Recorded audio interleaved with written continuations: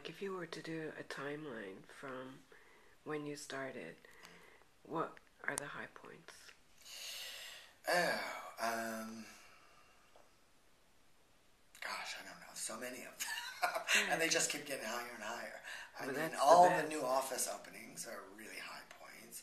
I mean, getting Kevyn Aucoin his first job and getting him working with uh, Steven Meisel as a you know a guy with very few pictures in his book. That was definitely a high point.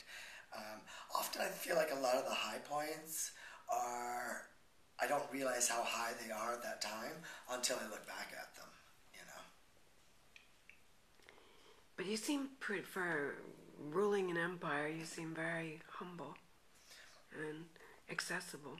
I'm accessible for sure. I do like to stay accessible. I mean, um, you know, a lot of my new young photographers I found just came from Facebook, just from chatting with strangers on Facebook. Um, How do you find the time? Because you have, I know you have good people working for you, but nonetheless, you're the one that has to oversee everything in the end. It's also so- what I enjoy. You know, you Yeah. just you just manage to find time to do the things that you enjoy doing, and connecting with people and networking and meeting new people is something I really enjoy. And when's your birthday again? You don't have to give the January. year. So you're a Capricorn or a Yeah. Sagittarius. Capricorn. I guess. Yeah. Not that I believe in any of that, but yeah. You don't no. really. So you don't believe in Chinese I don't really signs believe in the Chinese sign either. I'm an ox, if you want to know. But An yeah. ox, okay. but yeah, So what do you believe in? uh, I'm much more science based. I don't believe in homeopathic medicines. I don't believe in uh, you know uh, astrology or anything. Really? Yeah. Hmm. Okay. So getting to more practical, since you're traveling all the time, what are your secrets for staying fresh? Oh, I don't know. tough, I no? don't really have to. Because you haven't aged in.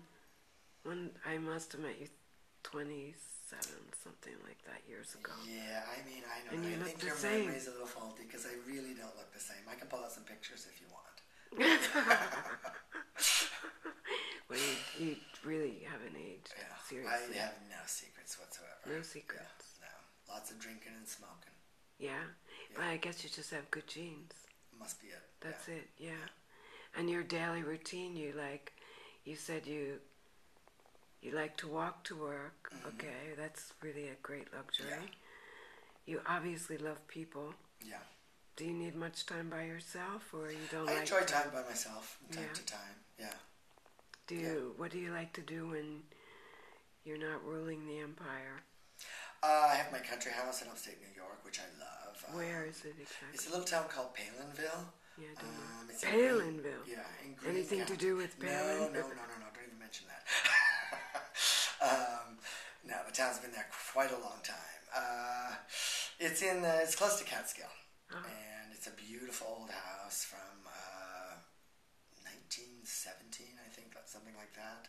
Um, it's a concrete castle that a kind of crazy guy built back then, but it's really beautiful. Um, especially in the summertime, I love having friends there. I love entertaining. I love cooking. Um, What are some of your favorite dishes? Oh, um, I mean, I do a lot of French stuff, but like really simple traditional French stuff. I love a good old American barbecue.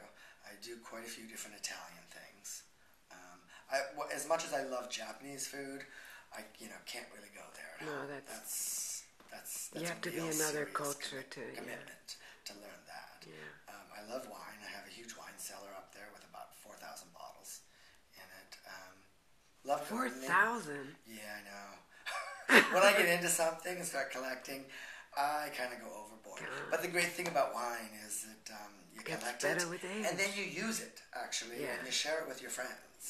So That's great. rather than collecting physical sort of things that you end up with too much stuff, the wine you use it up. What's the oldest bottle?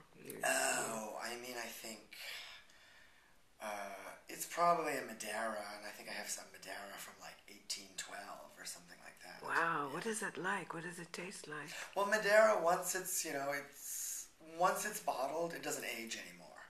You know, Madeira is a very Really? very sweet wine. Yeah, but it's a it's a high alcohol. That's the secret. Once Yeah. it's bottled, let's find out. yeah. I love yeah. that. You have to, you have to change the corks about every 50 years, or the corks will Really? deteriorate. But yeah, Wow, that's exciting. yeah. And when did you get into that? Was it like traveling through France or? Um, that was a big part of it. Mm-hmm. Yeah, that was a big part of it. I only really got into it maybe five years ago or something. But yeah. And if you were to pick some place you've never been that you'd love to go, where would it be? Oh, um, gosh, you know, a, big focus for me right now is Latin America. As much as I've traveled all throughout Asia and Europe and Australia and so many other places, I haven't made it past uh, Costa Rica in that direction. So it's and I love Costa Rica. So I mean that's that's a real focus for me next is someplace I want to go. Haven't been to haven't been to Colombia, haven't been to Argentina, haven't been to uh, uh, Brazil. Yeah. Wow. So, So, God, there might be an office opening in Bogota or Sao Paulo. could be. Could Maybe be. Sao Paulo could be safer than Bogota. I don't know. I have to I'm investigate. I'm gonna check them out both to Hmm. decide. So, if somebody wanted to start out um, to represent people, be an agent, what would would you give any advice?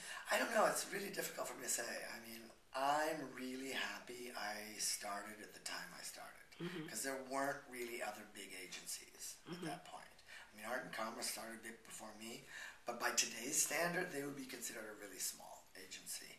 Really? Um, yeah. I don't envy the people who are starting out new agencies right now. Um, it's not easy. But I mean, the main thing is, you know, start in your local market and start with some people that you really represent.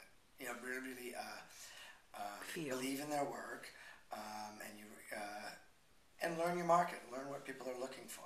You know, if you're going to represent photographers, you need to know about photography and the history of photography. You don't have to know so much about the technical side, but you know, you need to you need to represent people who are in a field that you have a personal feeling for. Sounds good. Well, Yeah. thank you. All right, my pleasure. And here we are not in a fifth floor walk up. This is just one room out of how many here? How many Uh, square two. meters?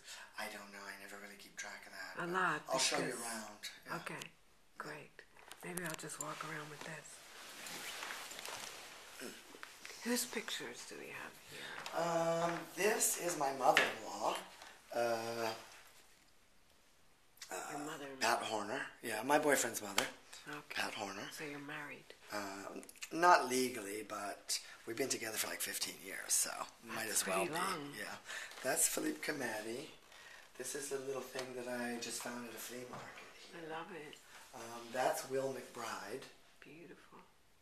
Yeah. And then there's the little meeting room here. Who's here?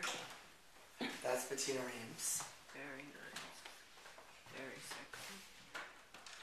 Here we are in the little meeting room. Yeah, unfortunately we had some leaks from upstairs. So It's always, why. there's Paris, it's plumbing problems. Here's the entry. That's Simon Procter. That's, uh, I think that was the first Chanel show that uh, they did at the Grand Palais. Ah, it's so great. Etienne Rousseau, I think, maybe. Or Alexandre de Betak, I guess. Accounting's back there. Everybody's out to lunch. There's usually actually people working. That's great. But this is the hair, makeup, and stylist department. Wow. And you found all your French people here, or you brought some from New York? or No, what? we're all here. Uh, I mean, since then, one or two have uh, transferred. And this is the photography department. Hi. And that's Tree, our producer. Nice to meet you. Great. God, it's endless here. There's the book. And what's back here? That's back where we started. My office again. God, that's Yeah. great. We walked in a circle. I love it.